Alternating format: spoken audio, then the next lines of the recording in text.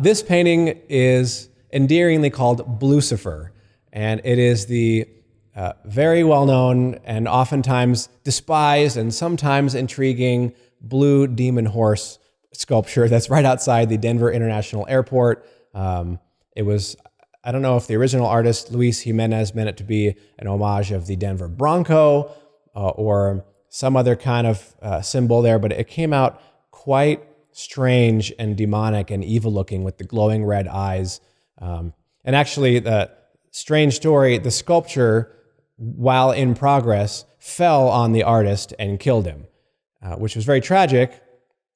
But then uh, his sons finished the sculpture and erected it later um, to be one of Denver's most strange icons.